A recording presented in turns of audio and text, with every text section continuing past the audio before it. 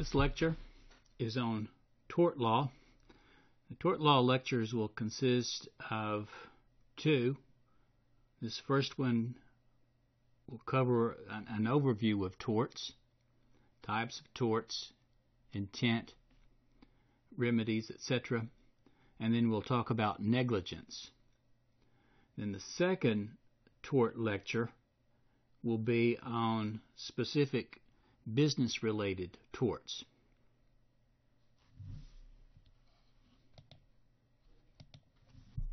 A tort can simply be defined as a civil wrong other than a breach of contract.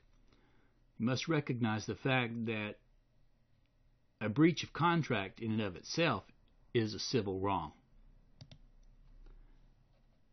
Torts are not necessarily based on the wrongdoer's intent to injure or necessarily on a bad act. There is what's called strict liability, and strict liability may result regardless of intent or maliciousness or negligence. In common law, tort law grew out of the original seven torts to the um, many that the law recognizes today. And obviously, the tort law grew out of uh, Old Testament law in Exodus, in which the um, the law spoke of uh, certain wrongdoings uh, and gave certain remedies um, uh, for um, the victims. Let's look at tort law as a continuum based on the intent to injure. This little exhibit right here would reflect that continuum. And if we were to draw arrows on both ends of uh, the continuum, it would reflect thus. So we can classify torts into three broad classifications intentional torts, negligence, and strict liability. Intentional torts requires maliciousness or intent to injure, or the defendant, the, the wrongdoer, knows with substantial certainty that injury will result. Negligence, as we talked about in the very first lecture, is the failure to comport to a standard of care. And strict liability is the newest of the three classifications, and that um, strict liability results when the defendant undertakes an ultra hazardous activity, and that ultra hazardous activity results in an injury to the plaintiff. We said that the intentional torts grew out of the seven original intentional torts battery, assault, false imprisonment, false arrest, malicious prosecution, trespass to land, trespass to chattel. And then, of course, we've got some newer versions, and we've got what we may refer to as quasi intentional torts and broadly speaking, you may even call those intentional torts.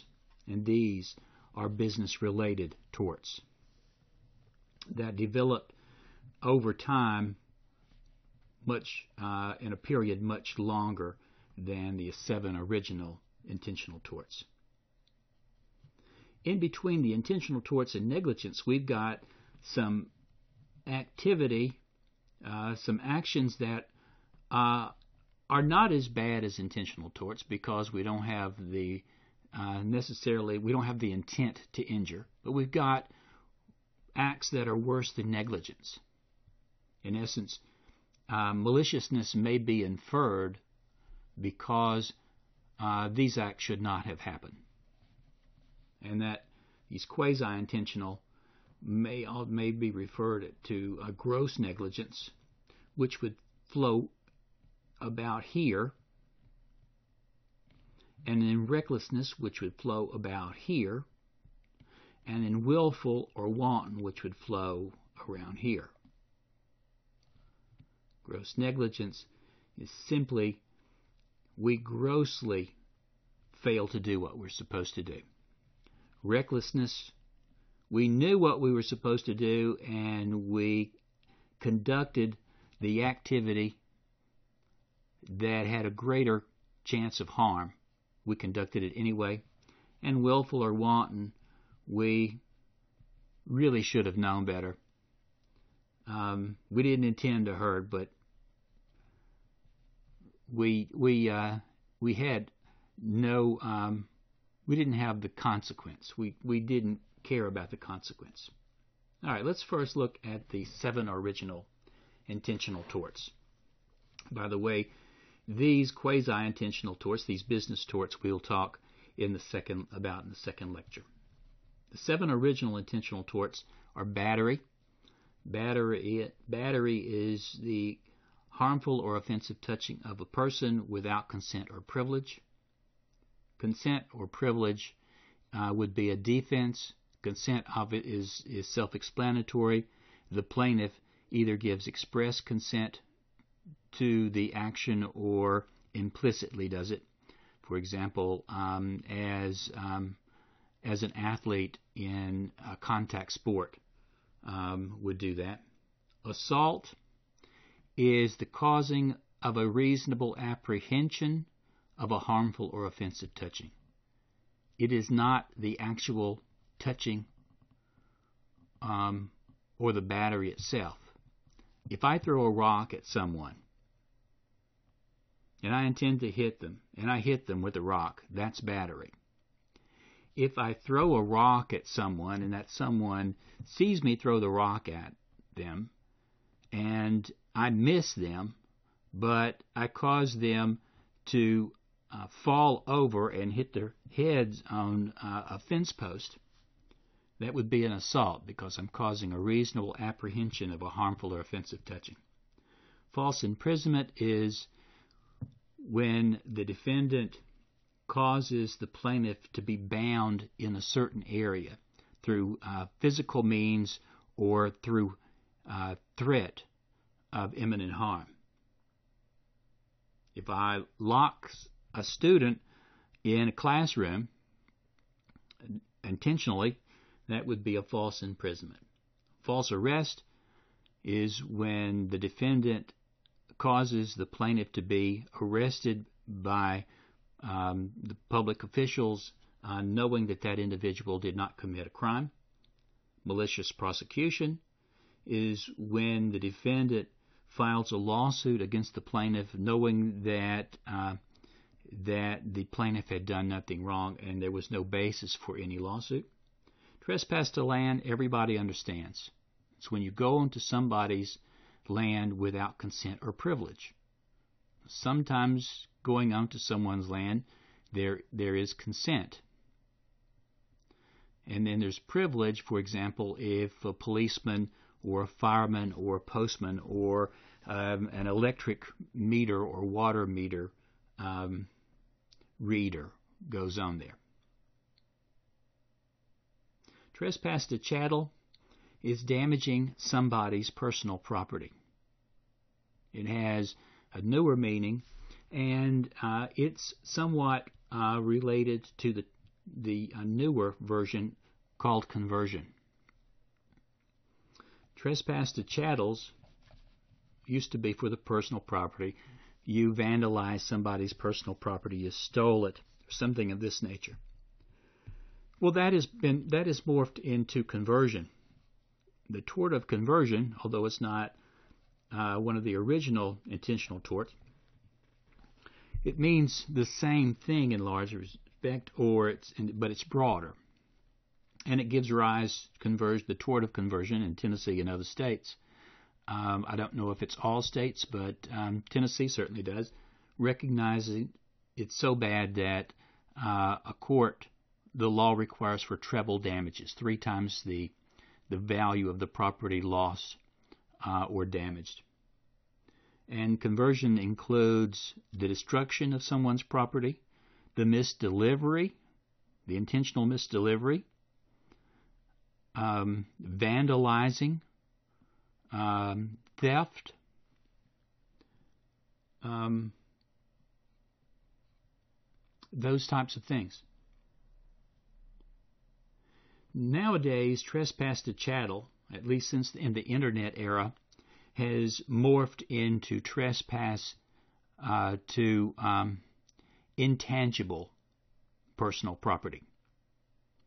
Uh, in the in the mid 1990s, 1995, uh, and and uh, shortly thereafter, the uh, internet service providers used the tort of trespass to chattel to um, civilly prosecute um, a firm uh, called Cyber Promotions that acquired somehow acquired the email list, the customer list of each of the three uh, largest internet service providers, Earthlink, uh, CompuServe, and AOL, and this um, cyber promotions would send spam to these customers. And the um, undeliverable emails would bounce to the internet service providers' uh, servers, clogging them up. And of course, the clients um, of the internet service providers uh, didn't like being spammed either. So the lawsuits with lawsuits against the, those big three internet service providers against Cyber Promotions Inc., each of them winning, the court applied the trespass to chattel tort. Um, two of the other newer intentional torts intentional infliction of emotional distress. This is intentionally causing somebody to suffer emotional pain. There has to be a showing of physical or mental injury. Physical or mental injury. Meaning there has to be a showing, you, know, you have to have be under a doctor's care or something like that. Uh, simply alleging that you hurt my feelings is not enough. Tennessee recognizes the tort of outrageous conduct. Um, they recognized it in the late 60s early 70s, in which um, it occurs when the defendant uh, conducts himself in a way that injures the plaintiff, and the defendant's actions are so outrageous that they're intolerable in a civil society. Punitive damages can result. In fact, his punitive damages can result in any of these intentional torts. Punitive damages may also result in any of these gross negligence, recklessness, and willful and wanton uh, actions. And that's because um, punitive damages to meet due process requirements under the Constitution, under the Fifth and Fourteenth Amendment, requires a proof of maliciousness, requires a proof of malice. And so the intentional tort, they're found because it's part of the tort, and then these quasi intentional, they're inferred. Let me give you an example of outrageous conduct. Tennessee case. Uh, it was not the first case. It might have been the second Tennessee Supreme Court case. Um, case entitled uh, case titled Johnson versus Women's Hospital. On Getwell Road in Memphis, there used to be a small hospital for women. And they did uh, usual things uh, from the 60s and 70s, usual, usual type of medical care for um, um, pregnancies, maternities, um, uh, stillbirths, handling stillbirths, and things of this nature, D and C's. Mrs. Johnson had been a patient at Women's Hospital, and she had had a steel stillbirth. She was concerned about proper disposal of her baby, and um, the folks at at John at Women's Hospital assured her that they would take care of her. Now she's assuming that that it would be disposed of in a in a dignified fashion, like she would dispose of it, um, like a person, um, not in in terms of a um, a funeral, but um, certainly dignified. She uh, later returned to the hospital for some treatment, and while she was there, they uh, she asked about um, the disposal of of her baby, um, uh, you know, to assure get assured that that it was probably taken care of, and one of the um, employees of the hospital said, "Sure, we, you know, we we took care of it. You want to see?" So we wheeled her down the hall in a in a wheelchair, and they came to a side room, and they opened up a closet door, and they showed Mrs. Johnson her baby. The, the baby was in a jar of formaldehyde, um, to which Mrs. Johnson did not take this well, as you would understand. Um, she uh, suffered emotional injury and, um, and, and emotional pain, and she sued Women's Hospital um, under a claim of outrageous conduct. And the court there cited the rule that I just gave you that it was they were guilty of outrageous conduct because their actions were so outrageous that they would be intolerable in a civil society. Let's look at damages in tort actions. Compensatory damages are the norm. They are meant to compensate the plaintiffs for their actual out of pocket expenses and lost wages and profits. Also covers such thing non economic damages like pain and suffering. These, these uh, out of pocket costs, lost wages, profits, these are economic damages, medical expenses, and, and so forth and the pain and suffering is, are non economic damages. And then, of course, there are punitive damages. And we've talked enough about punitive damages. And then the third type of damages, broadly speaking, are nominal damages. There are no actual damages um, per se, or the actual damages are not proven with um, any specificity they're merely speculative. And if that's the case, then if the party has proven his or her case, then a court will order nominal damages. That usually is one dollar. But this also uh, may give um, the court the opportunity to um, order attorney's fees uh, and cost if there's a finding. Um, so, we don't need to talk about punitive damages anymore.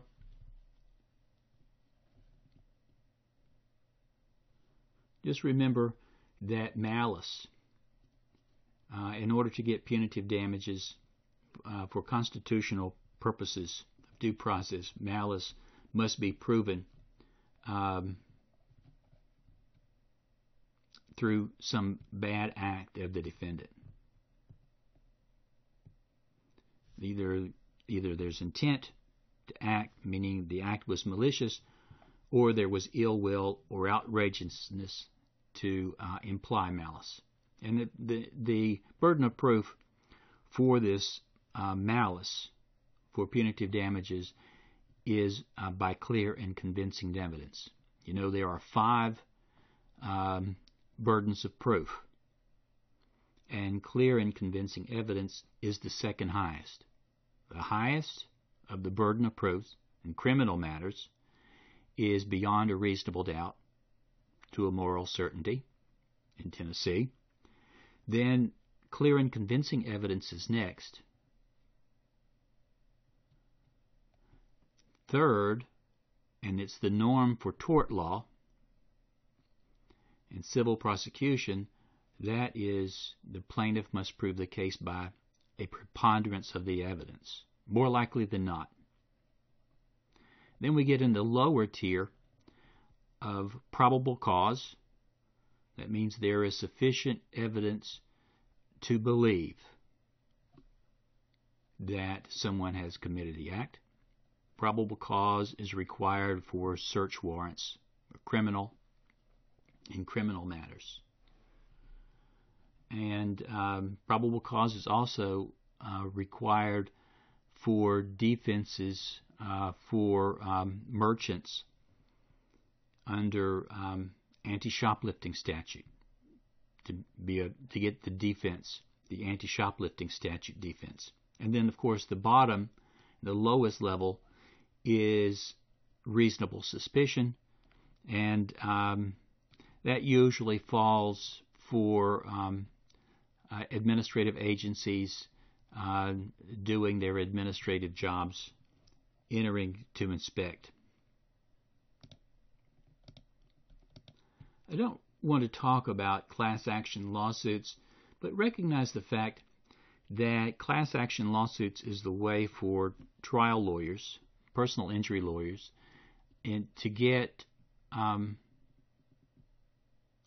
um, to um, be able to sue one defendant for a multiple action or one action that affects multiple people, where multiple people are injured as a result and it may be something uh, like uh, you know a fraud action against Blockbuster uh, on how they handle um, um, transactions.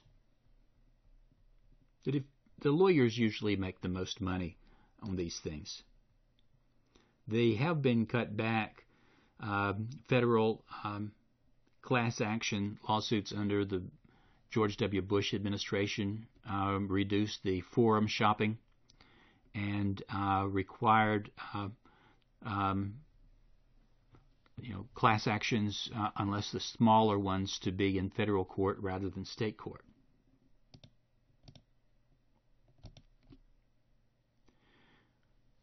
We've already talked one time about the elements of negligence. What I want to do now is to kind of flush uh, this out in the discussion of tort law. Remember, there are four elements of negligence duty, breach of the duty, proximate cause, and damages. And the plaintiff has a burden of proving all of them. And the plaintiff must prove it, um, must prove the case by a preponderance of the evidence. First is duty. This is a reasonable person standard, which is the norm. How would a reasonably prudent person act under the circumstances? Now, different groups of persons have different duties. For example, property owners owe a duty to business invitees and trespassers. Business invitees um, are shoppers, students, persons that um, have a quid pro quo generally with the owner of the premises or the operator of the premises. And trespassers are persons who are on the premises illegally. And we also have a different, we may have for trespassers, we may very well have a, a different duty from adults to students. Let's take the case of McKee versus Gilge.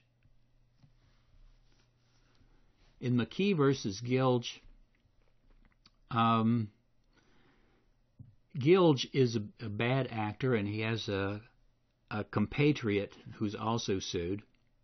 And um, but the principal defendant is the operator of the Columbus Clippers minor league baseball stadium. McKee is the plaintiff. McKee was at the Columbus Clippers baseball games, uh, game with uh, with his family, and Gilge and his buddy uh, are sitting in the stands, and they've been drinking a lot, and they're shouting obscenities, and they're they're rude, uh, and they are acting badly. McKee tells them to stop. arguments ensued, threats, I'll come up and, you know, whip your rear end, that sort of thing. But McKee never told any usher or security guard at the stadium about Gilge and his buddy. So the the the uh, the the security guards uh, and representatives of the Columbus Clippers uh, or the stadium had no knowledge of it. After the game, unfortunately, McKee uh, and Gilge and his buddy meet up in the parking lot, and Gilge and his buddy proceed to beat up McKee in front of his family. Now, McKee sues all of them Gilge, his buddy, and the Columbus Clippers. What are you going to get from uh, a drunken spectator who just beats you up? Not much chance of getting any recovery at all. So why would he sue the Columbus Clippers? Simple as this is deep pocket. He's going for the defendant that has the uh, propensity or that has the ability to pay money. The court has to apply the proper standard. Now, generally, the duty that the owner of the premises has to a business invitee, which is like McKee, is a duty not uh, a duty to reasonably inspect the premises and to remove any hazards within a reasonable period of time. Put another way, in this way, is the duty to protect against known threats. And here, McKee is arguing you have a duty to protect me against rowdy, drunk um, patrons, spectators, fans. A court agreed with the Columbus Clippers because there was no proof of any prior incidences where the drunken spectators had caused violent acts against others. And because McKee did not notify the um, security guards of um, of Gilge's behavior, they had uh, no reasonable knowledge of any um, threats or risk of violence against McKee, and therefore they were not liable.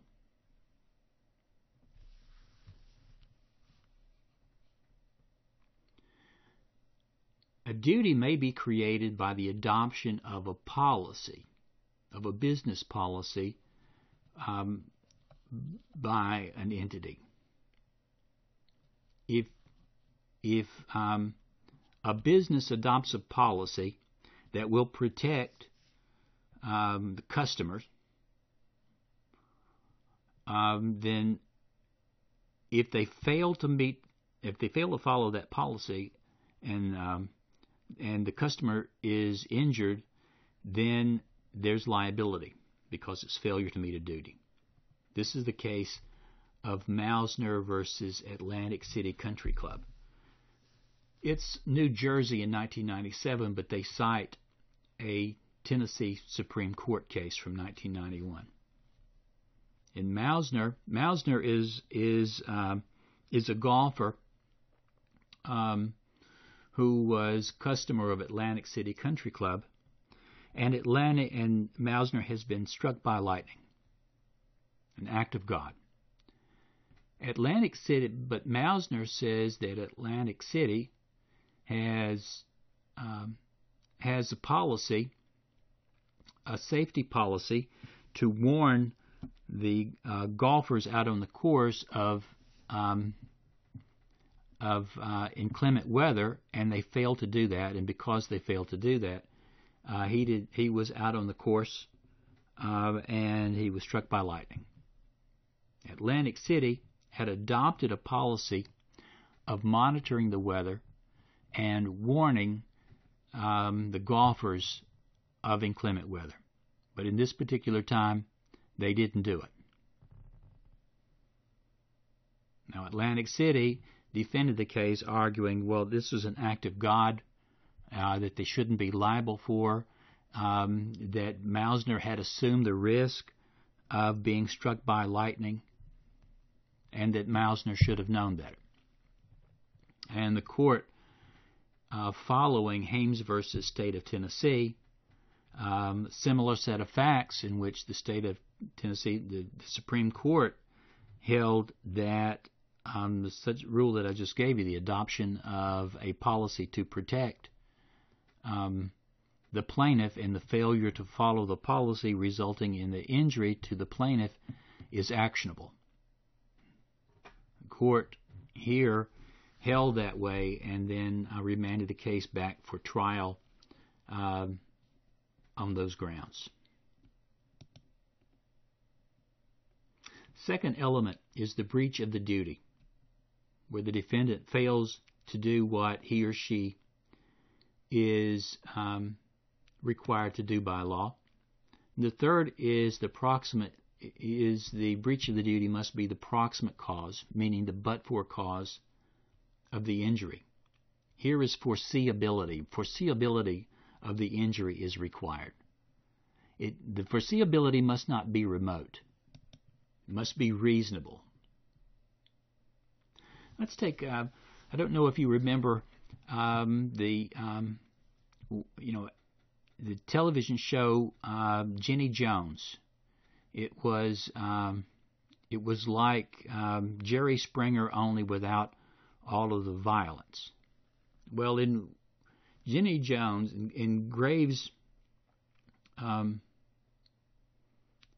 in in a lawsuit against Jenny Jones, it, I think it's Graves versus um, Jenny Jones and um, Warner Brothers. And Warner Brothers are, is the big one here because it's the producer of the show.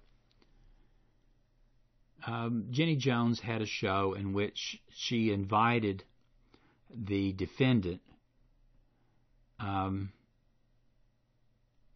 in this particular case, the perpetrator, um, entice him to come as as a participant on the show because there was a secret admirer. And of course, he, he came, and and the secret admirer was another man. Uh, and the defendant did not take it very well. Now, he didn't cause any injury to his secret admirer uh, there at the show. I guess they he probably would have if it was Jerry Springer show, but this was Jenny Jones, uh, a little bit more sedate. Um, but three days later, he acquired a gun and then killed his secret admirer.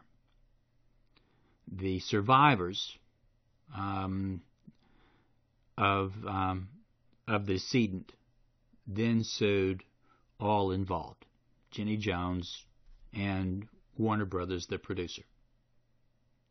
And the question, the issue in this that particular case was the um, production of the show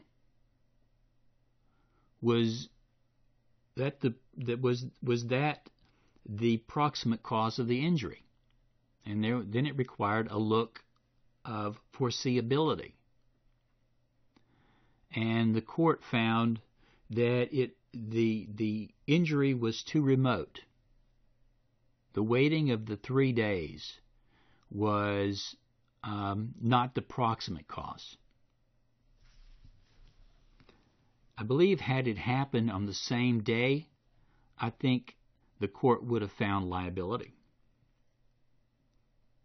The last of the elements is damages, which we've talked about. One of the principal legal rules in tort law, and, and it applies um, corporate governance as well, um, and uh, business association laws is the doctrine of vicarious liability. The notion of that term vicarious means through someone else. And in vicarious liability, the defendant is liable for the tortious act of someone else. It's based on a relation, uh, on an agency relationship.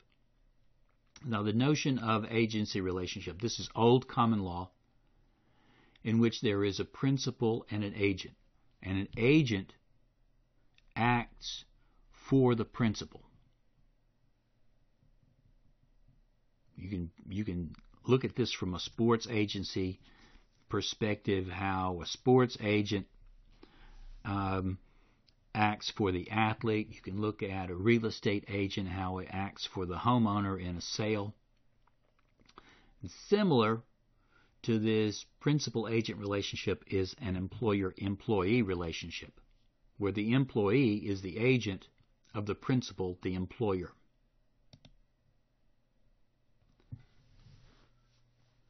An agent can bind the principal in a contract that's intended to benefit the principal, and an agent can bind the principal if the agent is acting within, within his or her scope of employment.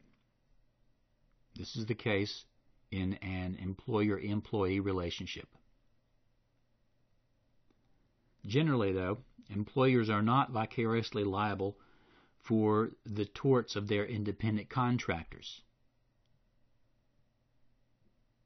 Why? Because independent contractors are not employees, and independent contractors are hired to bring about a result without uh, the requisite control by the employer in telling them what to do, when to do it, how to do it.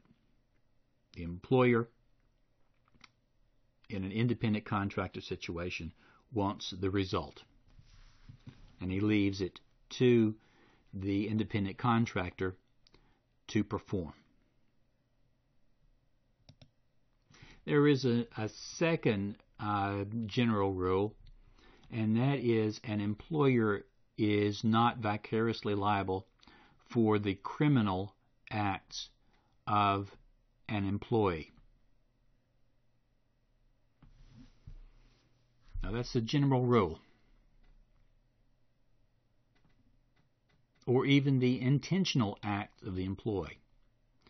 But as a caveat in those two situations, if the employee is acting within the scope of the employment. Now, usually, an intentional or criminal act is not within the scope of employment. For example, beating up a customer, stealing somebody else's, uh, an employee stealing somebody's property, things of this nature. That's usually not within the scope of employment. But if the employee has been directed on what to do by the employer, or if the employee is acting in the furtherance of the employer's business. For example, if a bouncer at um, a bar has been told by his employer, by his supervisor, if anybody acts up, throw them out on their ears.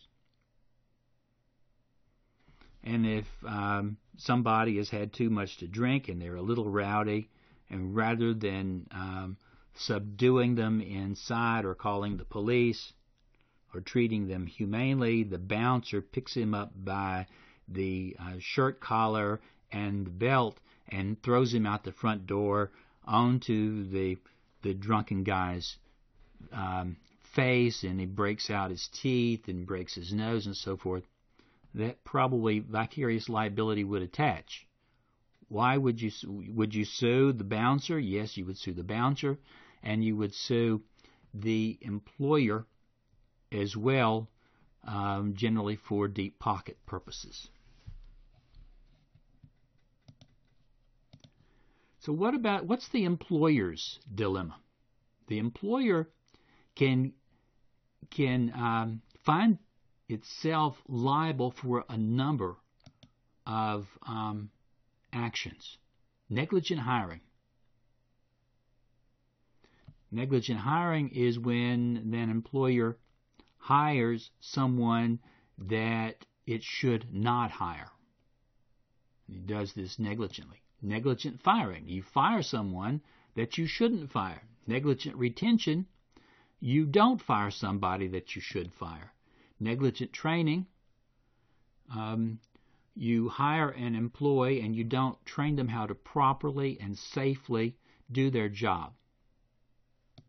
And then negligent supervision, you hire someone and you don't supervise how they do the job and uh, someone gets hurt or someone's property is damaged. Let's talk about defenses.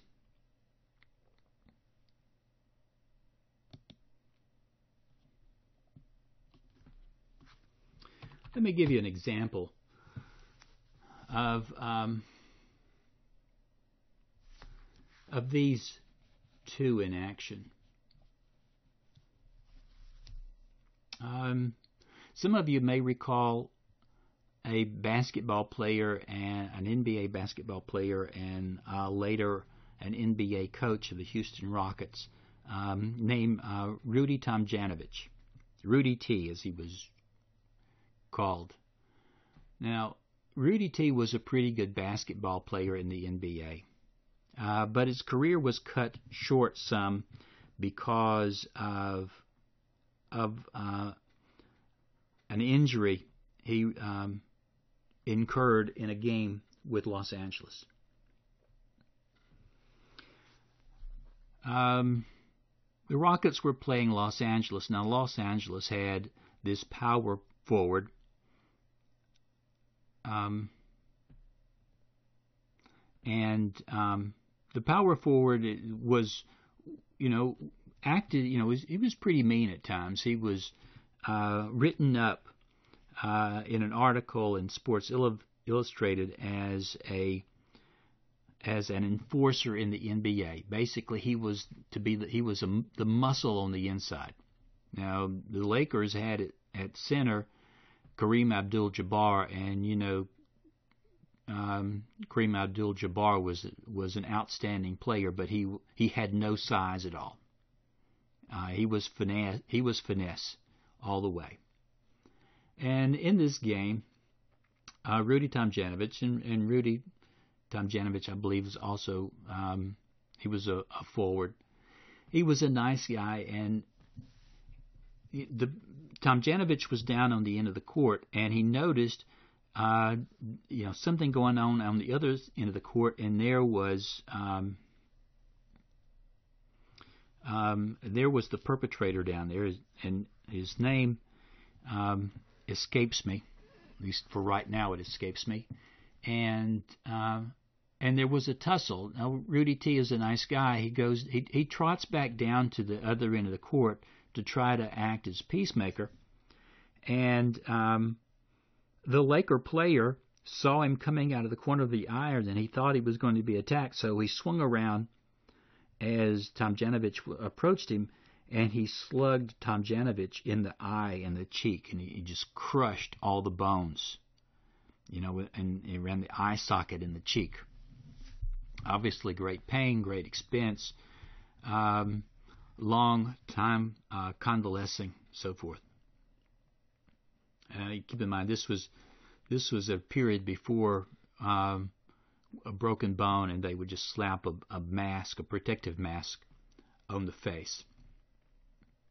Now, as a general rule, you did not, one player did not sue another player for um, um, for an intentional striking uh, of the person. But in this particular case, Tomjanovich sued the Lakers and he sued the Lakers under a couple of theories. One, for vicarious liability. I had said that, as a general rule, employers are not vicariously liable for the intentional acts of, of an employee, unless, of course, it's within the scope of employment or directed.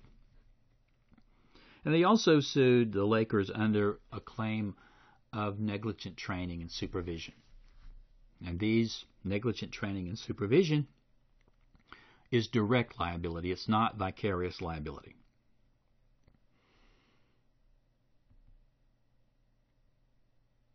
And um, intentional injury remember, gives rise to punitive damages. The court, in hearing the facts,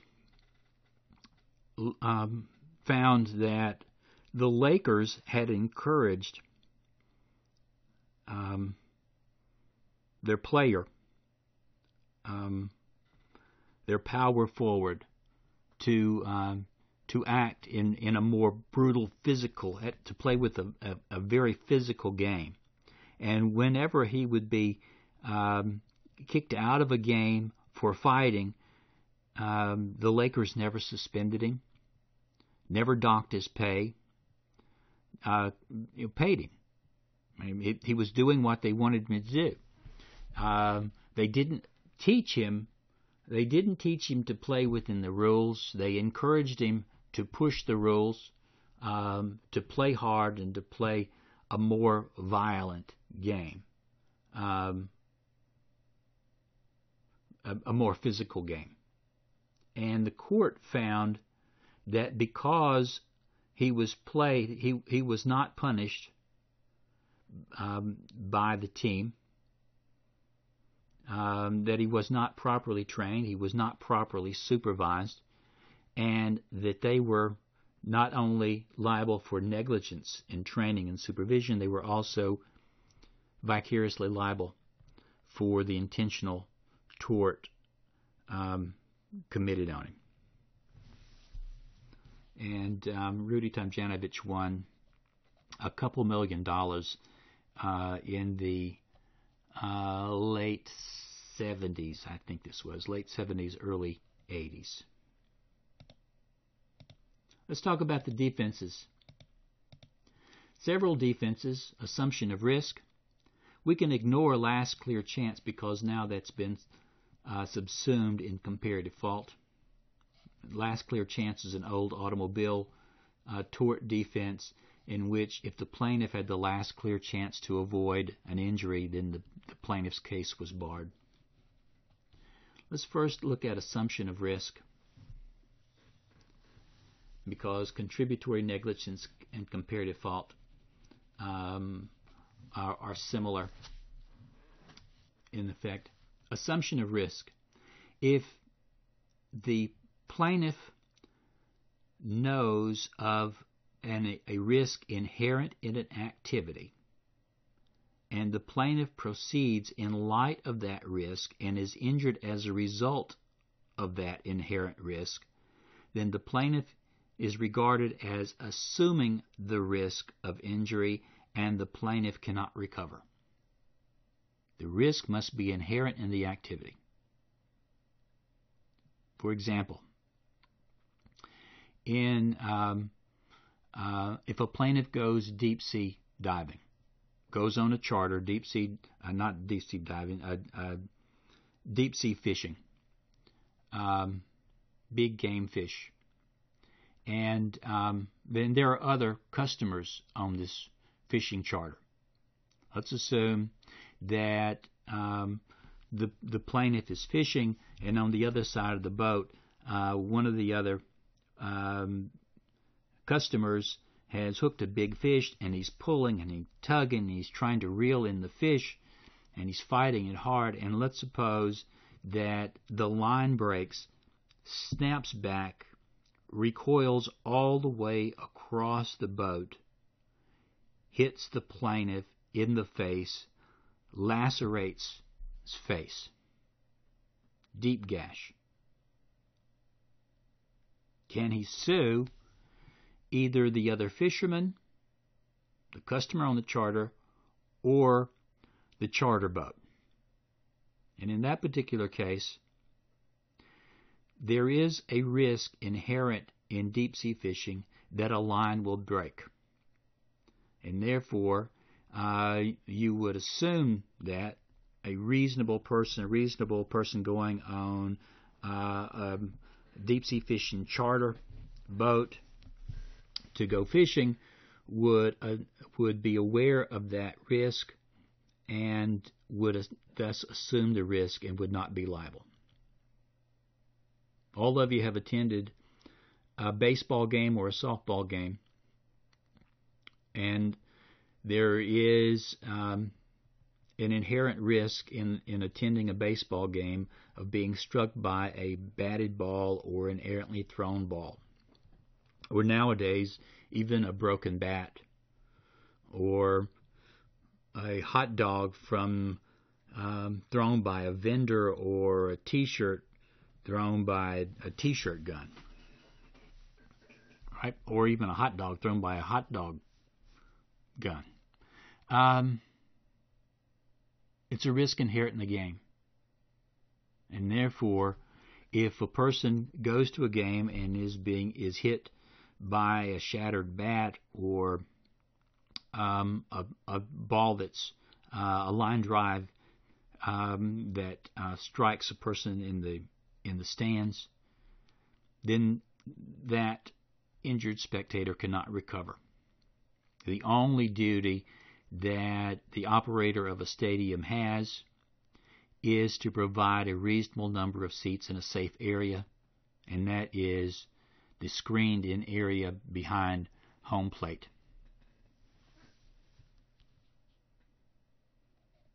That's a case from Murphy versus Steeplechase uh, Amusement from the 19 from 1937, I think.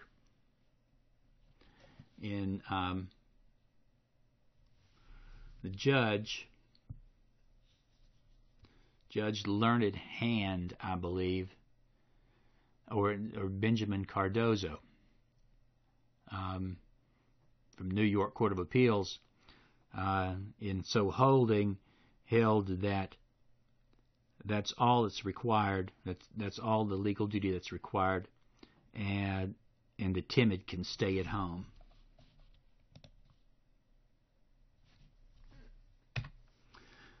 Let's go to uh, assumption of risk, or no, let's go to um, contributory negligence. Contributory negligence is the common law right? It, it developed through the common law. It's been around a, a, a long time. And the defense of assumption of contributory negligence is that if the def- if the plaintiff in any way is negligent and the plaintiff's injury contributes to his or her injury, if the plaintiff's negligence in any way contributes to his or her injury, then the plaintiff's case is barred. It doesn't matter if the plaintiff is is less at fault than the defendant. If the plaintiff was also negligent and negligent and that negligence could have could have caused the injury, then the plaintiff's case is barred. Doesn't matter if the plaintiff is is 10% at fault and the defendant is 90% at fault. The case is barred. It's a harsh rule. Well, given that it's such a harsh rule, uh, over time, uh, and it developed from a minority rule into the majority rule now, uh, such that it's, it's the general rule, is comparative fault. And comparative, the comparative fault doctrine, which Tennessee recognized for personal injury cases in 1994 or 1995, the comparative fault doctrine says if the uh, or it has it has two versions. The overwhelming majority of the jurisdictions follow modified comparative fault, the 50% rule, if you will, and Tennessee does as well.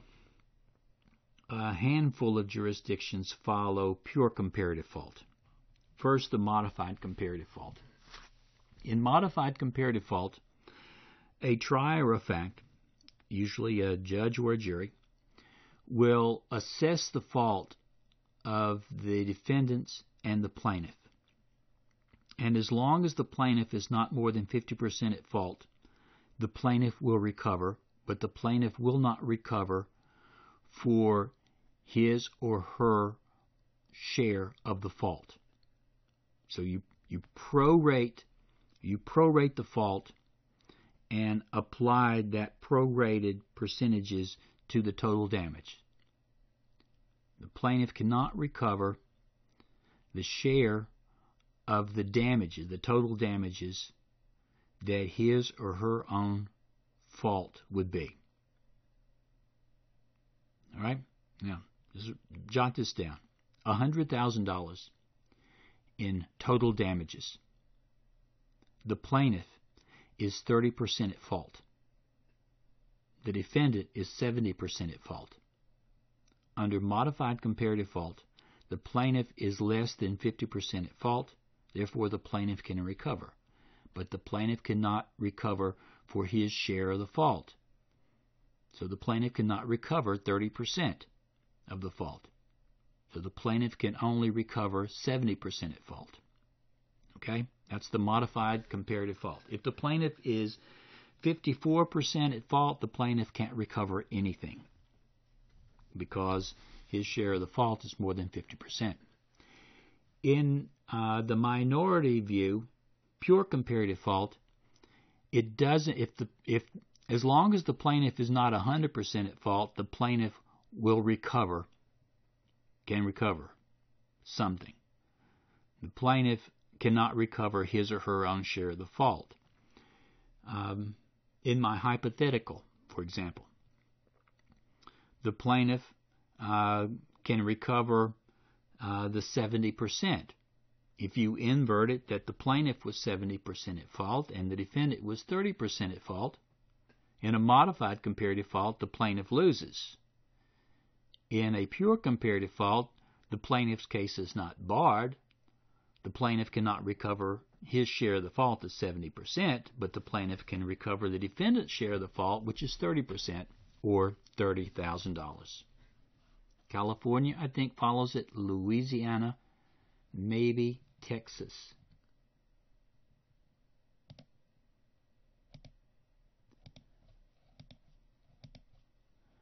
All right, strict liability. Strict liability is the most recent category of tort. In common law, strict liability required the defendant to injure the plaintiff while participating in some ultra hazardous activity. And in 1960s, I think 1964, in a decision by Justice Chief Justice Traynor of the California Supreme Court, the California Supreme Court expanded the notion of strict liability to dangerous products. This ends um, the first lecture on torts. The second lecture will resume considering the business torts.